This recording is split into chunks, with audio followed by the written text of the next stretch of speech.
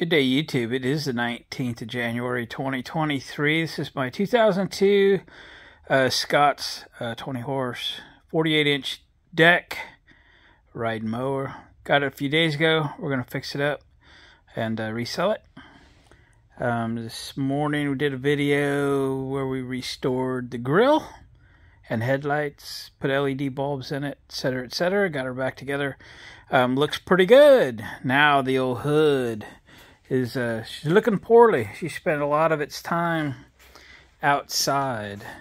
Um, this is a, you know, we're watching our budget on the rebuild because the whole idea is to be able to sell it at a good price when we're done with it, and still make a buck on it. Um, but we got to repaint that hood. So a lot of options in the world of paint. Most of them are pretty expensive, especially if you want to match that color exactly. But over there on the bench is a couple cans of Rust-Oleum. Even that was $14 for two cans. Uh, pretty cheap, I am. But, you know, we got to do what we got to do. So we're going to do a video on repainting the hood on this Scotts riding mower. I guess uh, they were built by John Deere for a year. And I've I don't know. It's probably a pretty good machine. So uh, let's get started with the prep, shall we? First thing you want to do is get some sort of prep sol. Uh, I've used lacquer thinner, maybe even like isopropyl alcohol. I don't know about all of that, but anyway, we got to wipe this thing down. We have no idea what's on it, what kind of oils are on it. It's going to keep the paint from adhering. This thing's also got a pretty poor finish on it. So it's going to be porous and whatever is on it might be deep. So, but the last thing you want to do is sand the dirt and grease into this, whatever you call that finish. So let's get her wiped down with this prep sol.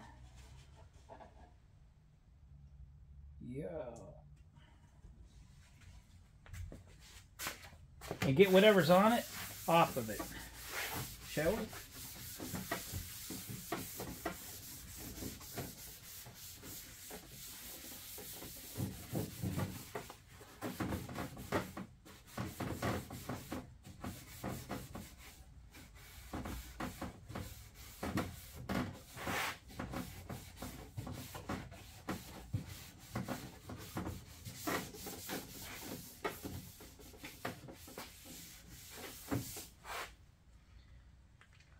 Flip it,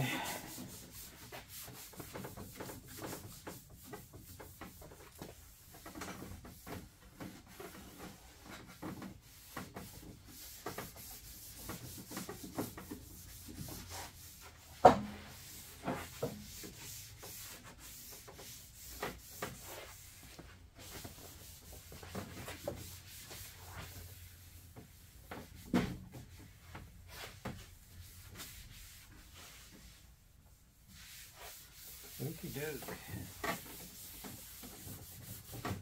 We'll come back with a clean dry towel.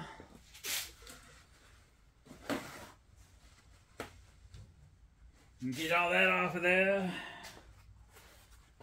I think for sanding this thing, I mean, we're not going for a show finish or anything. We're just trying to put the right, a little bit of color back on.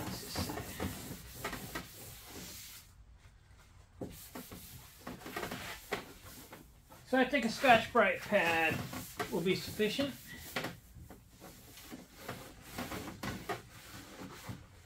I think uh, before we do that, we will mask off the decals. Now, if you're doing a a real nice tractor or something, maybe you got a vintage John Deere like I have, um, and you want to buy decals and stuff for it, you know, now's the time to pull them off and you know get the glue and stuff off of them. But you know we're not buying decals. I doubt you can buy decals. So we are reusing them. So we need to protect them before we start sanding on it. So let's do that. Let's get that thing off. Put it on a stand. If it will. And proceed to sand her down.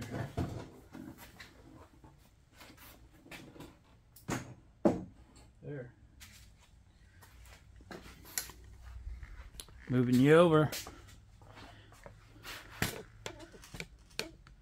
And nobody wants to watch a video of somebody sanding, but um, we're just going to use a green Scotch-Brite pad. I cut it up into three or four pieces. We can chuck them when we want to.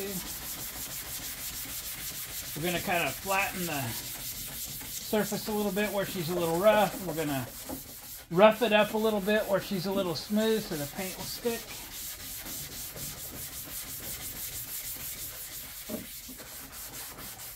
And go from there. Then we'll wipe it back down again and uh, so forth. But uh, before we get too crazy, let's get those decals masked off. All right, I found some Rust-Oleum primer. I got this thing sanded down a little bit. Quite honestly, I didn't put my heart and soul in it. So we're gonna throw a little primer on that to give it some coverage over that rough surface. Hopefully this can works. Let's see. Oh yeah. Oh yeah. I always come down here to do my edges first.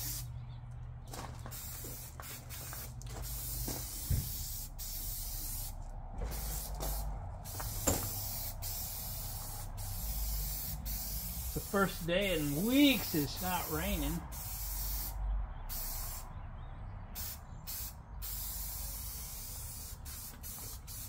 So we can do a little painting.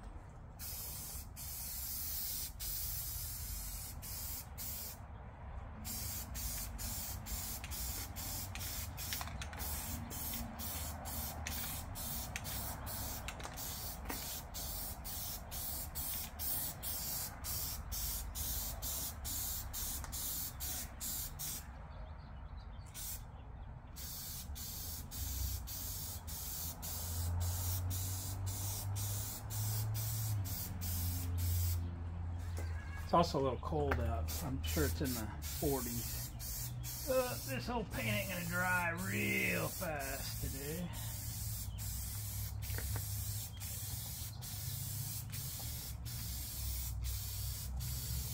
About half uh, overlap, right? Your spray pattern, about half an overlap.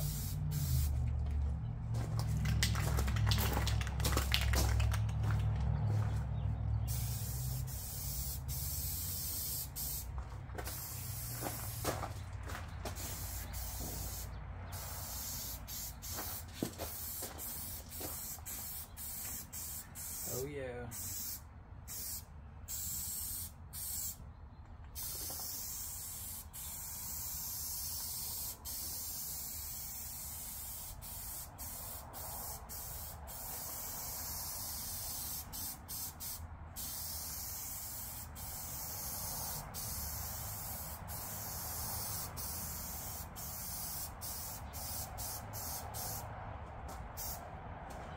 I'm gonna double check this side. It looks good.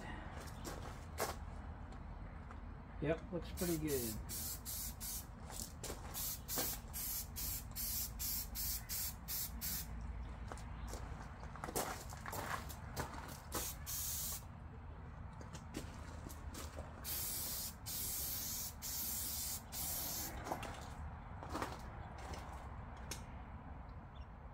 All right. We'll let that uh, set up for a little bit. We'll throw some color on it. All right, it should probably sit longer, but it isn't gonna. All right, let's spray it out on the paper.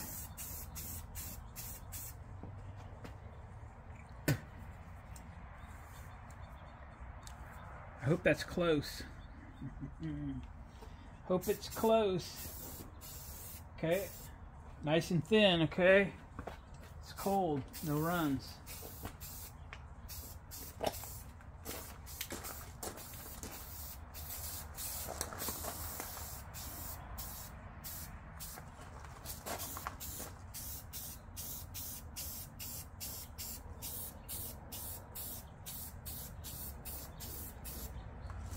We'll do one side now, we'll come back and do the other side.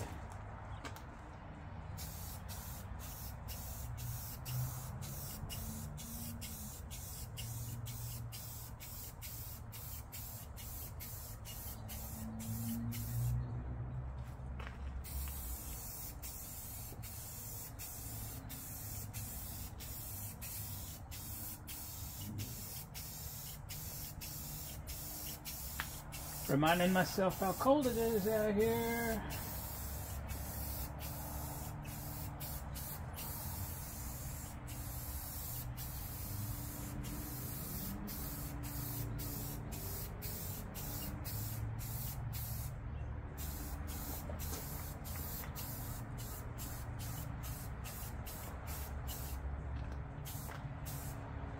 Ah.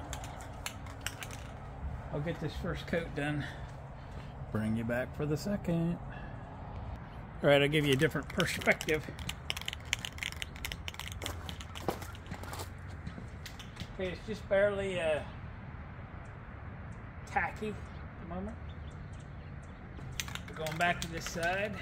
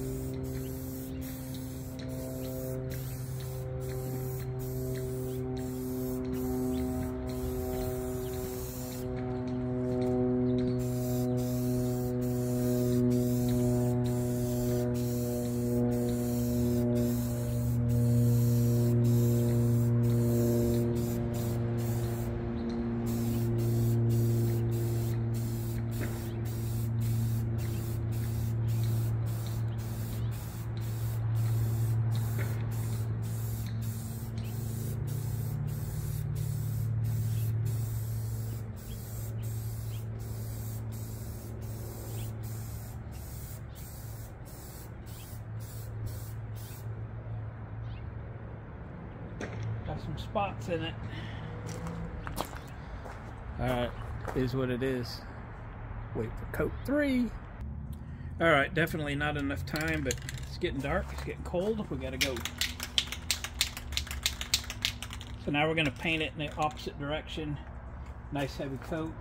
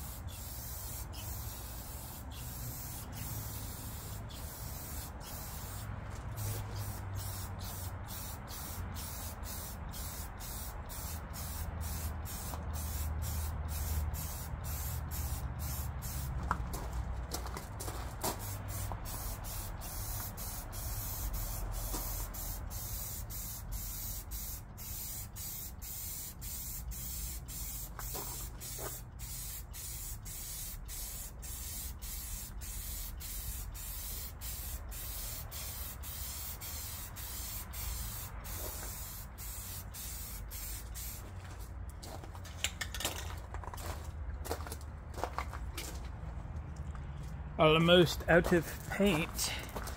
This can. We got two cans. Whoops. Almost crashed you.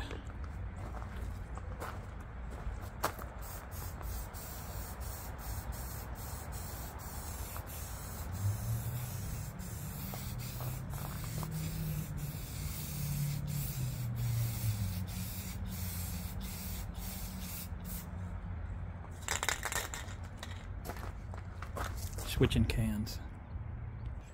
Okay. There was enough to do this little area there. I did it with the old can.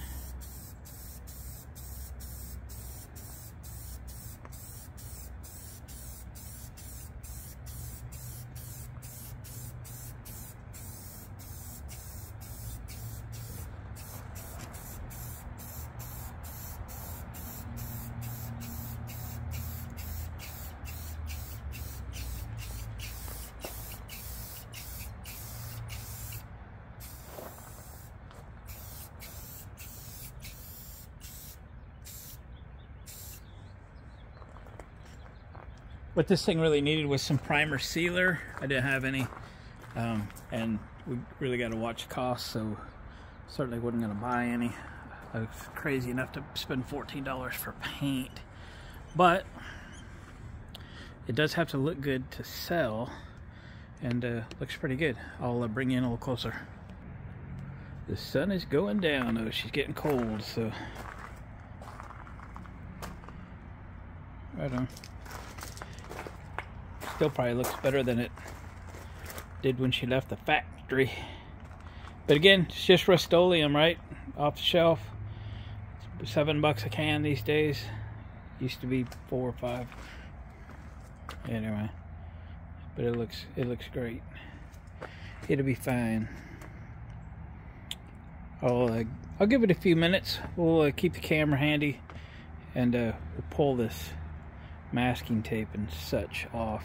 I like to pull it before it, paint gets completely dry. I mean, I don't want to do it tomorrow. I want to do it soon.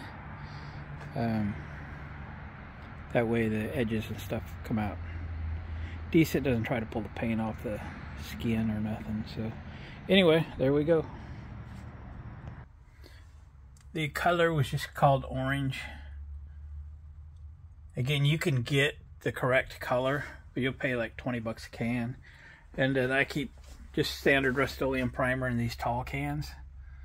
I usually just use red oxide, seems to do well. And used to could I used to could buy it in a box of six and save a little money. That's why I used to buy my black. But uh, I think that has changed. Anyway, just good to keep some on hand. Well, guys, there you go. What do you think? I took the tape off the big stickers. There's a couple little ones down there. The paint's still really wet. Didn't want to get my fingers all wet. But anyway, kind of took this uh, ugly duckling made look pretty good, don't you think? Right on. Yeehaw, I'm liking it. A couple stickers over here I didn't peel the tape off of yet. We're gonna let that thing dry a little bit, but yeah, she's looking good. Got to get it moved in because it's temperature's dropping. It ain't going to do much drying out here.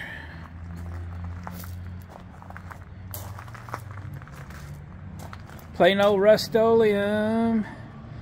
Little bit of work. About seven bucks a can, if you care. Right on. Alright guys, thanks for watching. Appreciate the comments. Subscribe if you haven't already. Hit that bell notification. You can come back and watch another video. This uh, lawn tractor will get a few more videos before it's all said and done. And then we'll send it down the highway. Alright guys, we'll catch you on the next video.